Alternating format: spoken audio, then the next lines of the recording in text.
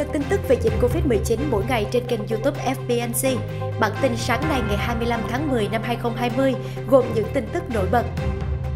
Trên thế giới, WHO nói nhiều quốc gia trên thế giới đang trong tình trạng nguy hiểm vì Covid-19. Theo ông Biden, Tổng thống Trump đang từ bỏ mạng sống của người dân Mỹ. Trong khi ông Trump lại nói Chủ tịch Hạ viện cần phải thỏa hiệp để đạt được gói cứu trợ Covid-19. Thủ tướng Tây Ban Nha, số ca nhiễm Covid-19 thực tế có thể đã vượt quá 3 triệu. Tại Việt Nam, hành khách đi máy bay, xe khách, tàu hỏa bắt buộc phải đeo khẩu trang. Doanh nghiệp được vay vốn trả lương ngừng việc cho lao động ảnh hưởng Covid-19. Gia Lai phát hiện thêm 8 ca dương tính với bạch hầu.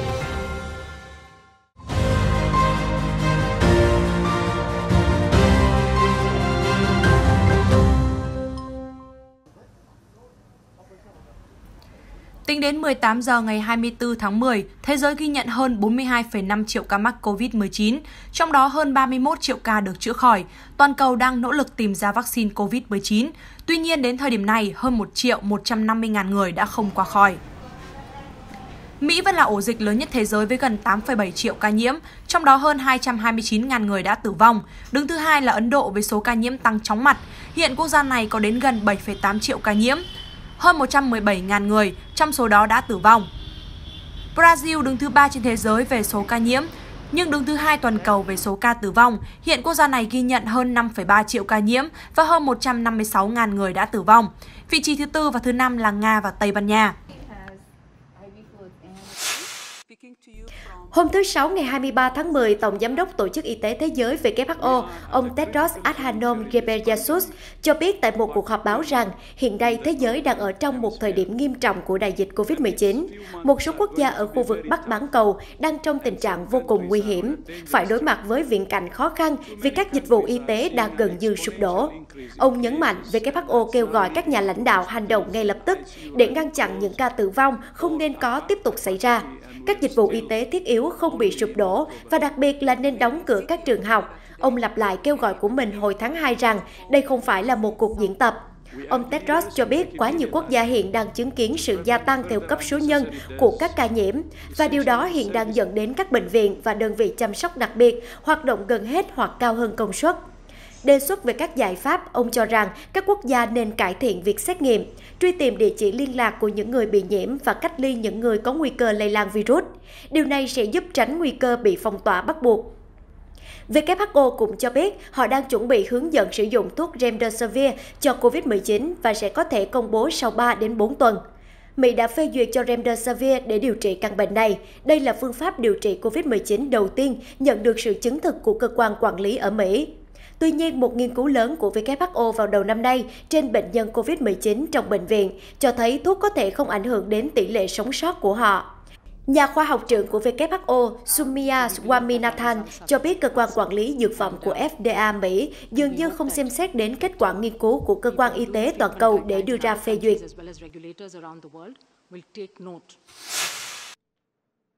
Trong cuộc tranh luận đêm thứ Năm ngày 22 tháng 10 tại thành phố Wilmington, bang Delaware, ứng cử viên Tổng thống đảng Dân Chủ Joe Biden mở đầu bài phát biểu của mình bằng cách cáo buộc Tổng thống đương nhiệm Donald Trump nói dối về đại dịch và nói rằng ông Trump đã bỏ cuộc, bỏ lại người dân đối đầu với dịch bệnh.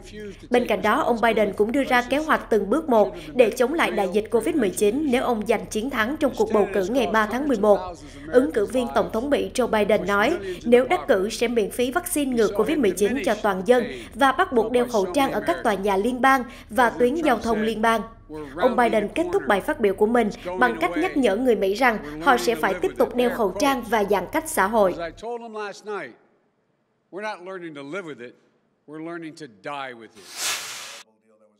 Cơ hội thông qua gói chi tiêu mới để hỗ trợ kinh tế Mỹ đã được cải thiện đáng kể khi mới đây, Tổng thống Donald Trump và Bộ trưởng Tài chính Steven Mnuchin hôm thứ Sáu ngày 23 tháng 10 cho biết họ sẽ ủng hộ thỏa thuận phù hợp để có thêm khoản cứu trợ COVID-19. Nhưng ông Trump và ông Mnuchin muốn Chủ tịch Hạ viện Nancy Pelosi phải thỏa hiệp để đạt được thỏa thuận cuối cùng. Trò chuyện với các phóng viên tại Nhà Trắng, ông Trump nhắc lại rằng ông không hỗ trợ thêm viện trợ tài chính liên bang cho các bang và thành phố của Mỹ do đảng Dân Chủ điều hành, đồng thời nói thêm rằng ông không nghĩ bà Pelosi muốn đạt được thỏa thuận trước cuộc bầu cử tổng thống vào tháng tới. Bà Pelosi, trong một cuộc phỏng vấn trước đó vào thứ Sáu, nói rằng bà hy vọng đạt được một thỏa thuận trước cuộc tranh cử vào ngày 3 tháng 11, nhưng ông Trump cần phải hành động. Thủ tướng Tây Ban Nha Pedro Sanchez cho biết số người bị nhiễm COVID-19 thực tế ở Tây Ban Nha có thể đã vượt quá 3 triệu người trong một cuộc họp báo ở Madrid hôm thứ Sáu ngày 23 tháng 10. Ông Sanchez đã cảnh báo trong cuộc họp báo rằng tình hình hiện tại của đại dịch COVID-19 ở Tây Ban Nha là rất nghiêm trọng và những tháng khó khăn nhất đang đến. Mặc dù dữ liệu chính thức của Bộ Y tế trong tuần này cho thấy số ca nhiễm COVID-19 vượt quá 1 triệu ca, nhưng số ca nhiễm thực tế ở Tây Ban Nha có thể đã vượt quá 3 triệu ca. Ông Sanchez nói, trích dẫn dữ liệu xét nghiệm huyết thanh học.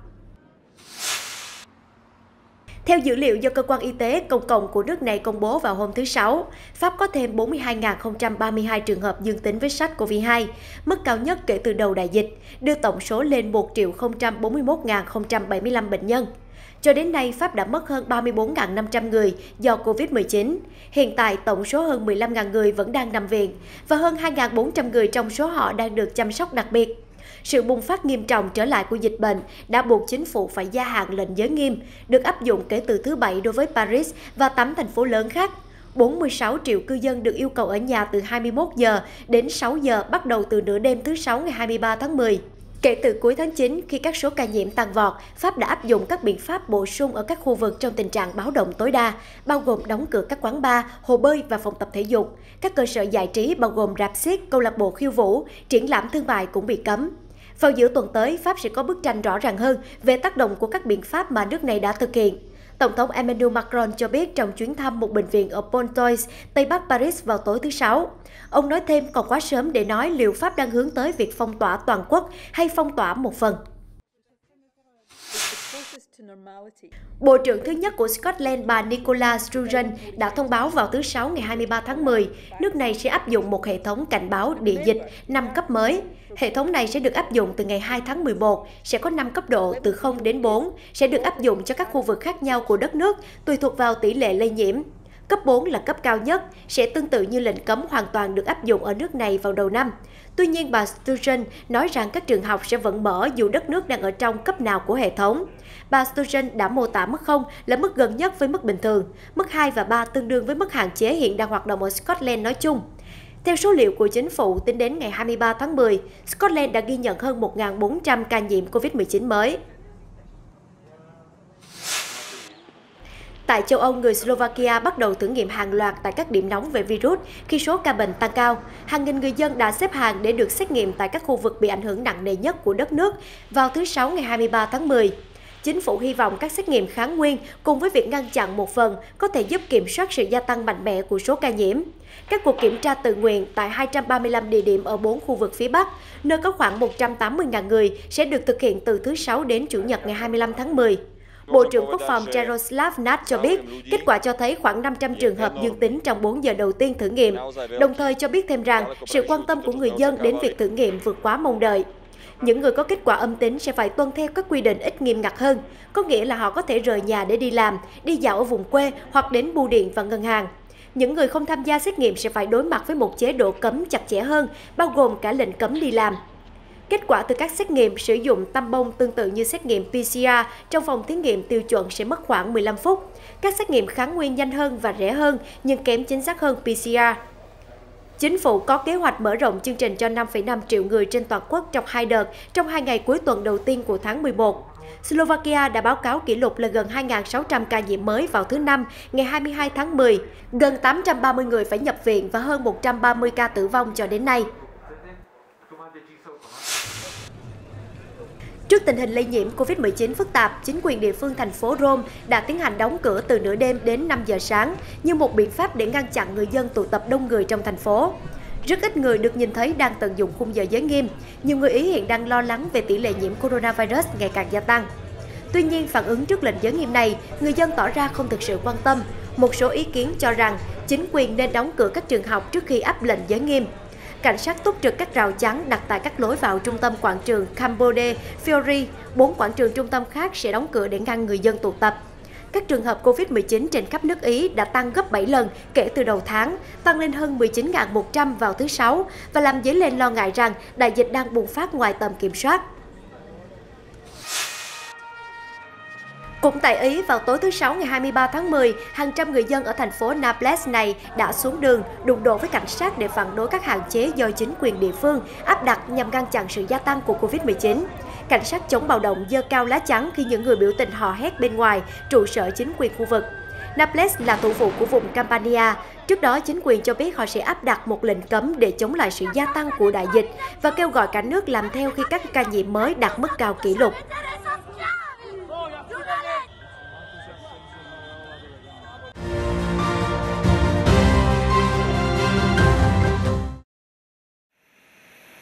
Chuyển sang tin tức tại Việt Nam, theo Ban Chỉ đạo Quốc gia phòng chống dịch COVID-19, tính đến 18 giờ ngày 24 tháng 10, Việt Nam ghi nhận thêm 12 ca mắc COVID-19 mới, bệnh nhân 1.149 đến bệnh nhân 1.160. Đây là các ca nhập cảnh được cách ly ngay. Như vậy, tính đến 18 giờ ngày 24 tháng 10, Việt Nam có tổng số ca mắc COVID-19 là 1.160 ca, trong đó có 1.051 ca đã chữa khỏi, 35 ca đã tử vong. Việt Nam đã qua 52 ngày không có ca nhiễm trong cộng đồng. Các ca mắc mới đều nhập cảnh từ nước ngoài và đã được tổ chức cách ly theo đúng quy định của Bộ Y tế. Tổng số người tiếp xúc gần và nhập cảnh từ vùng dịch đang được theo dõi sức khỏe là 14.149 người. Tình hình điều trị, theo báo cáo của Tiểu ban Điều trị Ban Chỉ đạo Quốc gia phòng chống dịch COVID-19, trong ngày có thêm 2 bệnh nhân COVID-19 được công bố khỏi bệnh, nâng tổng số ca bệnh được điều trị khỏi là 1.051 ca. Hiện số ca âm tính lần 1 với SARS-CoV-2 là 4 ca, số ca âm tính lần 2 trở lên với SARS-CoV-2 là 4 ca, số ca âm tính lần 3 trở lên với SARS-CoV-2 là 16 ca. Trong bối cảnh Nga đang phải đối mặt với những ảnh hưởng nghiêm trọng do đại dịch COVID-19 và vẫn là quốc gia có tổng số ca nhiễm đứng thứ tư trên thế giới, chính phủ Việt Nam đã thực hiện việc trợ giúp nhân đạo những mặt hàng cần thiết cho Nga chống dịch. Cụ thể, Đại sứ quán Nga tại Việt Nam cho biết, lô hàng Việt Nam trợ giúp nhân đạo dành cho Nga vừa rời cảng Hải Phòng để đến Vladivostok, Nga. Lô hàng có tổng trọng lượng là 8,5 tấn, bao gồm khẩu trang vải và các loại khẩu trang khác, các vật tư vệ sinh, y tế. Theo kế hoạch, số hàng trên sẽ đến Nga sau 2 tuần tới và sẽ được Bộ Phòng vệ Dân sự, phòng hộ tình trạng khẩn cấp và khắc phục hậu quả thiên tai vùng Primoria, Nga nhận. Việc chuyên chở số hàng trên do Đại sứ quán Nga tại Việt Nam và Hội hữu nghị Việt-Nga tổ chức. Tập đoàn TH Chumil đảm nhận toàn bộ chi phí về việc vận chuyển số hàng nói trên. Trước đó, Đại sứ quán Nga tại Việt Nam hồi tháng 8 vừa qua cho biết, vào ngày 10 tháng 8, hãng hàng không Việt Nam Airlines đã chuyên chở số hàng trợ giúp nhân đạo là các phương tiện bảo vệ cá nhân cần thiết cho cuộc chiến chống virus corona chủng mới của chính phủ Việt Nam tặng chính phủ Nga. Hiện nay, tỉnh Ninh Bình đã cách ly và điều trị cho hai ca bệnh dương tính với COVID-19, bệnh nhân số 1135 và 1142 tại phòng khám đa khoa khu vực Cầu Yên, huyện Hoa Lư. Đây là hai công dân Việt Nam từ Liên bang Nga về nước vào ngày 16 tháng 10. Tại khu cách ly y tế tập trung, hai người này được phát hiện dương tính với SARS-CoV-2 và được chuyển đến điều trị cách ly tại đây. Trong quá trình điều trị cho hai bệnh nhân này, phòng khám đa khoa khu vực Cầu Yên đã áp dụng nghiêm ngặt phác đồ điều trị theo hướng dẫn của Bộ Y tế, kết hợp với kinh nghiệm điều trị cho các bệnh nhân trước đó. Sức khỏe và tâm lý của hai bệnh nhân đều ổn định. Phòng khám đa khoa khu vực Cầu Yên đang tổ chức cách ly, giám sát y tế cho 12 người tiếp xúc gần với hai bệnh nhân. Những người này đã được lấy mẫu xét nghiệm SARS-CoV-2 lần 1 và đang chờ kết quả. Thực hiện chỉ đạo của Thủ tướng về việc tiếp tục chỉ đạo thực hiện các biện pháp phòng chống dịch trong tình hình mới, Bộ Giao thông Vận tải vừa có văn bản yêu cầu các cơ quan, đơn vị liên quan đôn đốc, nhắc nhở yêu cầu mọi người đeo khẩu trang tại các sân bay, bến tàu, bến xe, nhà ga và trên mọi phương tiện giao thông công cộng. Theo đó, tất cả hành khách đi trên phương tiện giao thông công cộng như xe buýt, taxi, xe khách, tàu hỏa, tàu thủy, phà đặc biệt là trên máy bay, người điều khiển phương tiện và người phục vụ trên phương tiện phải thực hiện đeo khẩu trang đúng cách theo khuyến cáo của Bộ Y tế và trong suốt thời gian di chuyển. Hành khách chờ và người đưa tiễn cũng bắt buộc đeo khẩu trang trong phạm vi sân bay, bến xe, bến tàu. Các đơn vị doanh nghiệp vận tải tiếp tục tăng cường truyền thông phòng chống dịch COVID-19 và đăng tải thông điệp 5K gồm khẩu trang, khử khuẩn, khoảng cách, không tụ tập, khai báo y tế. Đặc biệt, quy định bắt buộc đeo khẩu trang tại các sân bay, bến tàu, bến xe, nhà ga và trên mọi phương tiện giao thông công cộng. Chuyển sang các thông tin về việc tổ chức đón công dân Việt Nam về nước. Hiện Mỹ là ổ dịch lớn nhất trên thế giới, nên việc đưa công dân Việt Nam từ Mỹ cũng như các nước có tình hình COVID-19 phức tạp là hết sức cấp thiết. Mới đây, các cơ quan chức năng Việt Nam, các cơ quan đại diện Việt Nam tại Mỹ và Hàn Quốc, hãng hàng không quốc gia Việt Nam đã phối hợp đưa trên 360 công dân Việt Nam về nước an toàn. Hành khách trên chuyến bay bao gồm trẻ em, người cao tuổi, người ốm đau, du học sinh đã hoàn thành chương trình học không có nơi lưu trú do ký túc xá đóng cửa và các trường hợp đặc biệt khó khăn khác. Các cơ quan đại diện Việt Nam đã tích cực hỗ trợ công dân, trong đó có nhiều người ở xa. Người cần sự hỗ trợ đặc biệt di chuyển tới điểm tập trung tại sân bay ở San Francisco, Hoa Kỳ và Seoul, Hàn Quốc. Đồng thời, cử các cán bộ trực tiếp tới các sân bay để hỗ trợ công dân hoàn tất các thủ tục và quá trình lên máy bay diễn ra nhanh chóng, an toàn. Với mục tiêu đảm bảo sức khỏe của công dân, ngăn ngừa sự lây nhiễm của dịch bệnh, hãng không quốc gia Việt Nam đã thực hiện nghiêm túc các biện pháp về an toàn, an ninh và vệ sinh dịch tễ trong suốt chuyến bay. Ngay sau khi máy bay hạ cánh xuống sân bay quốc tế Đà Nẵng, những người tham gia chuyến bay đã được giám sát y tế và cách ly tập trung theo đúng quy định. Thực hiện chỉ đạo của Thủ tướng Chính phủ và để kịp thời tháo gỡ khó khăn cho người dân bị ảnh hưởng nặng nề bởi đại dịch COVID-19, Ngân hàng Chính sách Xã hội Việt Nam đang triển khai thực hiện cho vay đối với người sử dụng lao động có khó khăn về tài chính để trả lương ngừng việc cho người lao động. Với tinh thần triển khai chính sách cho vay đúng, trúng, hiệu quả, Tổng Giám đốc Ngân hàng Chính sách Xã hội đề nghị cấp ủy, chính quyền địa phương các cấp tiếp tục quan tâm chỉ đạo hoạt động tín dụng chính sách xã hội nói chung, cũng như chính sách cho vay người sử dụng lao động để trả lương ngừng việc đối với người lao động theo quyết định 32 của Thủ tướng Chính phủ để đảm bảo chính sách đi vào cuộc sống, góp phần đẩy lùi dịch COVID-19, phát triển kinh tế xã hội tại các địa phương. Theo đó, mức cho vay tối đa một tháng của một khách hàng là người sử dụng lao động thuộc diện đối tượng của nghị quyết sẽ bằng 50% mức lương tối thiểu vùng nhân với số người lao động bị mất việc. Mỗi khách hàng được vay vốn không quá 3 tháng trong khoảng thời gian, từ ngày 1 tháng 4 năm 2020 đến hết ngày 31 tháng 12 năm 2020. Để có được những thành công trong cuộc chiến phòng chống dịch COVID-19, rất nhiều tổ chức, cá nhân, nhất là những nơi tuyến đầu chống dịch bệnh, đã phải hy sinh tâm sức, thậm chí là an nguy của bản thân mình. Ghi nhận tôn vinh những hy sinh ấy, thành phố Hồ Chí Minh vừa tổ chức chương trình tri ân tuyến đầu chống dịch COVID-19, tuyên dương 130 cá nhân, 16 tập thể tuyến đầu chống dịch COVID-19 ở miền Nam. Tất cả 130 cá nhân và 16 tập thể được tuyên dương trong chương trình lần này đến từ rất nhiều lực lượng, bao gồm đội ngũ y bác sĩ, công an, quân đội, hàng không và tình nguyện viên. Ở họ tuy khác nhau về vai trò nhiệm vụ, nơi làm việc nhưng tất cả đều có chung một quyết tâm, gác lại niềm riêng, cùng chung tay đẩy lùi dịch bệnh. Trong danh sách 130 cá nhân ở khu vực phía Nam được tuyên dương, có một cặp uyên ương rất đặc biệt, hai bác sĩ Nguyễn Văn Thành Được 29 tuổi và Dư Lê Thanh Xuân 28 tuổi, cùng công tác tại khoa cấp cứu hồi sức tích cực chống độc người lớn bệnh viện Bệnh nhiệt đới thành phố Hồ Chí Minh. Tháng 4 năm 2020, khi cả hai đang háo hức chuẩn bị đám cưới thì bất ngờ dịch Covid-19 ập đến. Cả hai quyết định gác lại đám cưới để cùng nhau ra tuyến đầu chống dịch. Dù hơi hụt hẫng đôi chút, nhưng sau đó cả hai lấy lại tinh thần, cùng động viên nhau hẹn một ngày chọn niềm vui khi dịch được đẩy lùi. Sở Y tế Gia Lai cho biết, địa phương này vừa ghi nhận thêm 8 ca dương tính với bạch hầu trên địa bàn. Như vậy, đến thời điểm này, toàn tỉnh Gia Lai đã ghi nhận 49 ca dương tính với bạch hầu, trong đó có 2 ca đã tử vong. Hiện dịch bệnh đã xuất hiện ở 21 xã thuộc các huyện Đắc Đoa, Iagrai, Chư Păng, Mang Giang và thành phố Pleiku. Các cơ quan chức năng Gia Lai đã tổ chức khoanh vùng, lập các chốt kiểm soát, phun hóa chất khử khuẩn, khám sàng lọc và điều trị kháng sinh dự phòng cho người dân. Theo Sở Y tế Gia Lai, các xã có ổ dịch đa phần ở vùng sâu, vùng xa, vùng đồng bào dân tộc thiểu số, nơi có tỷ lệ tiêm chủng còn thấp, người dân chưa quan tâm đến công tác phòng bệnh. Đến nay, có 11 xã có ca bệnh bạch hầu thuộc huyện Đắc Đoa, Iagrai và thành phố Pleiku đã hoàn thành công tác tiêm vaccine phòng bệnh cho người dân và tiếp tục tổ chức rà soát, tiêm vét nhằm đảm bảo 100% người dân trong khu vực có ca bệnh được tiêm vaccine. Tin tức vừa rồi cũng đã kết thúc bản tin dịch Covid-19 sáng nay. Chúng tôi sẽ tiếp tục cập nhật tin tức mới nhất về dịch Covid-19 ở các bản tin tiếp theo. Mời quý vị quan tâm đón theo dõi.